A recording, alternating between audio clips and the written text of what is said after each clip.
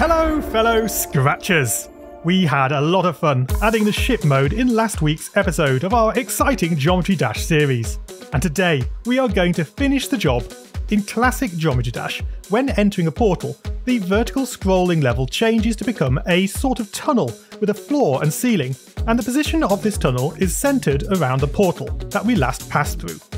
So, we are going to need some clever scripts to determine the vertical position of a portal on our level. We'll need a new ceiling sprite, and we'll need to fix the vertical scrolling perfectly in place. No problem. We'll be doing this and more in today's episode, so what are we waiting for? Load up your projects from episode 7, and we'll save them as a fresh new copy. For this is episode 8. Guys, let's get scratching! Now, before we dive into adding these fantastic new features, let's quickly address two little bugs that you may have experienced from the last episode. Yeah, a lot of you noticed that we started to get excessive particles when starting our first game. Whoops, even when jumping through the air now. But as soon as we die and we start, the particles go back to normal. This little buglet was introduced in the player sprite under the green flag script. This forever loop to generate title screen particles needs to be stopped when the game begins, not just on death. So a simple fix, when I receive reset level, we stop other scripts in Sprite. And that's it. Give that a run, and all is well again. No more particles while we're jumping. Now, the second issue wasn't as widely reported, and you have to be quick to see it. I'm going to place the ship portal at the start of the level once more to show you. Now, watch what happens when we die. Did you see it? Look closer. Yeah, we are turning back into the cube costume. So, how many of you noticed that one? If you did, then comment saw that bug under the video.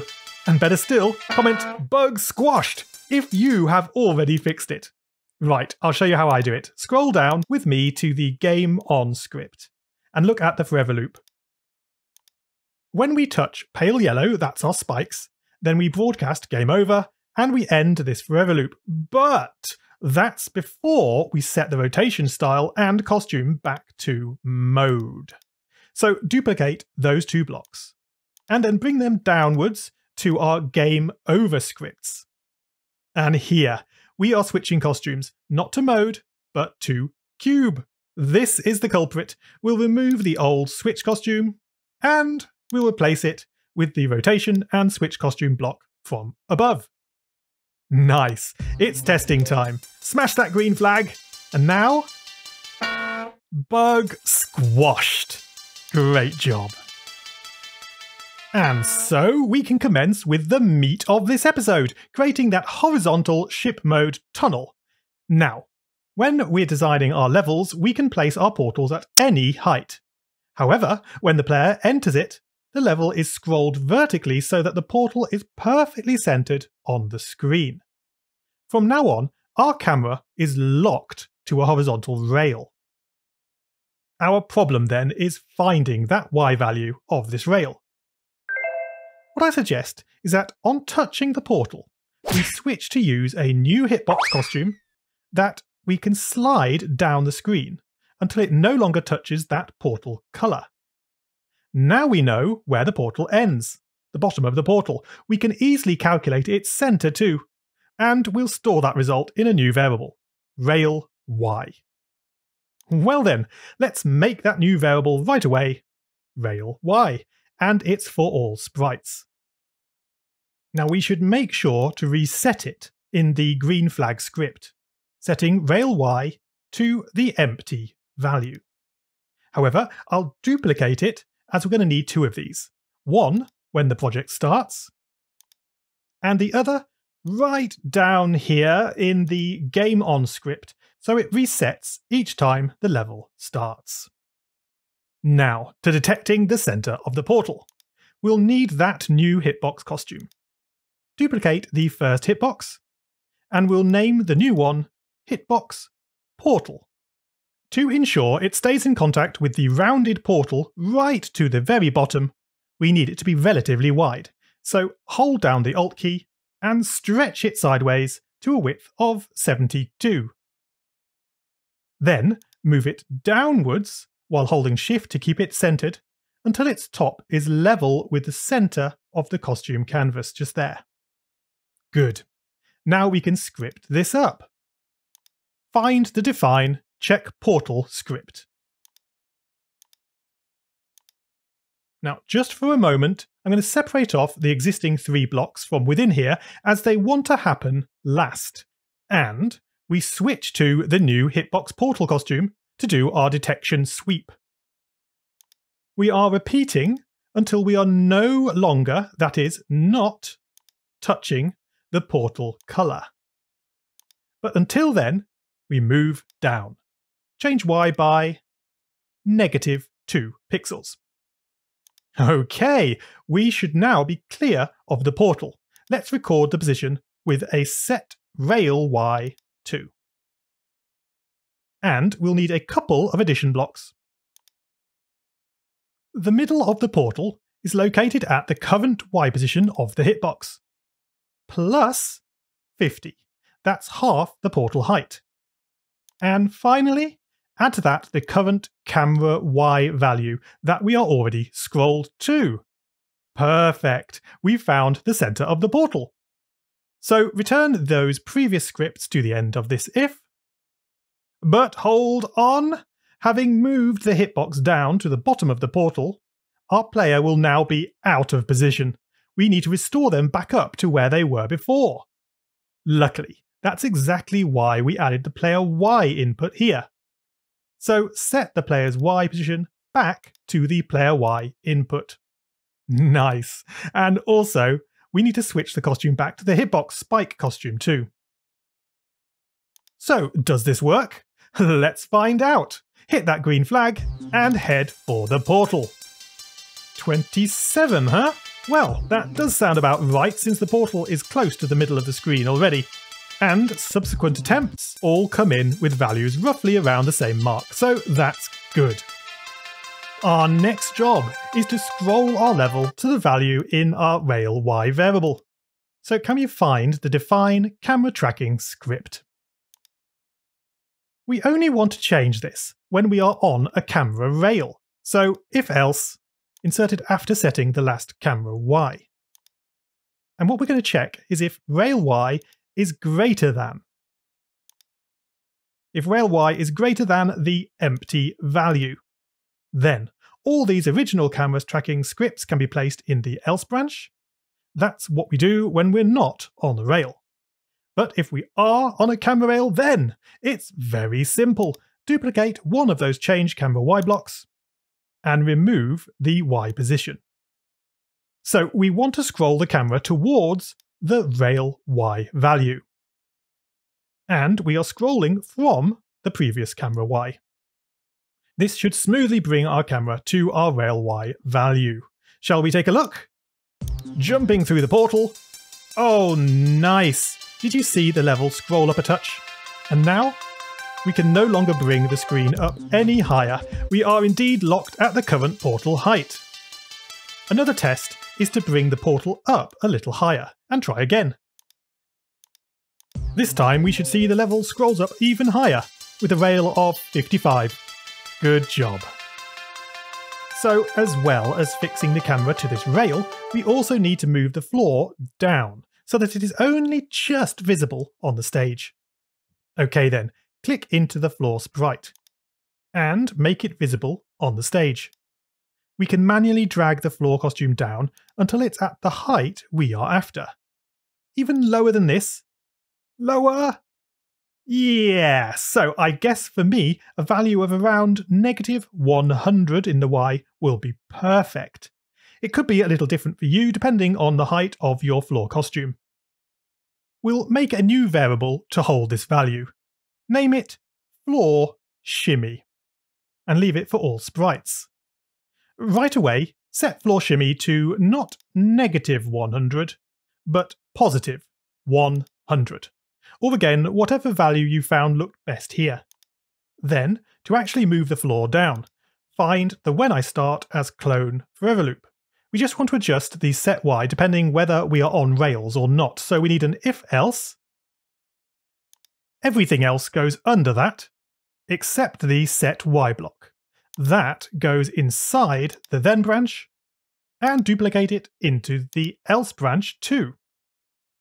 Now fill out the if condition. Are we on a rail? That's rail y is greater than the empty value.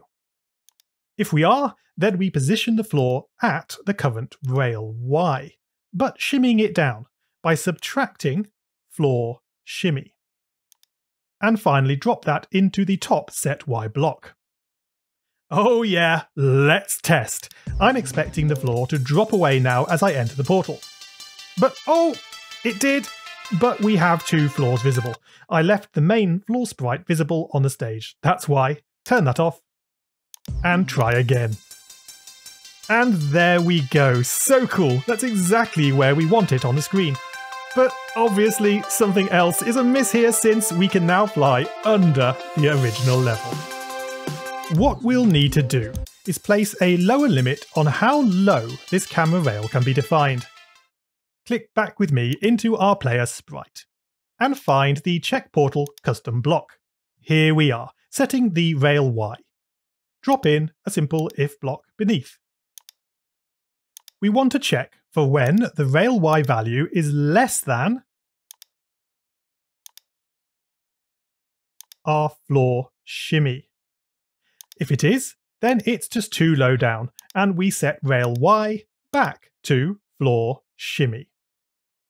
If all is well, when we jump through our portal, the screen jumps up and is left with the whole level floor locked to the bottom of the screen. That is perfect. I'm really pleased with how that is looking. Now we just need to replicate this floor sprite as a ceiling sprite too to close the player in. Well then, we'll duplicate the floor sprite. And name it Ceiling. We want to flip this costume perfectly upside down. Now you might think that tapping the flip vertical would do the job, but sadly it's not relative to the canvas, but the local costume. I do have a fix for that though.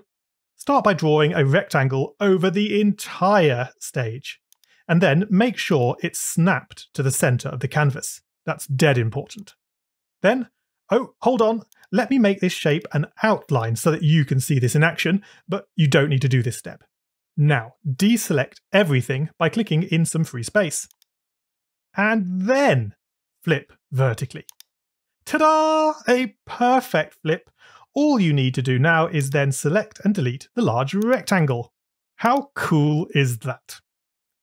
Next up, a little bit of coding. Make sure we are still editing the ceiling sprite. We don't want to be setting these global variables in the ceiling sprite as well as the floor sprite, so remove them all, including the one under the reset level hat block.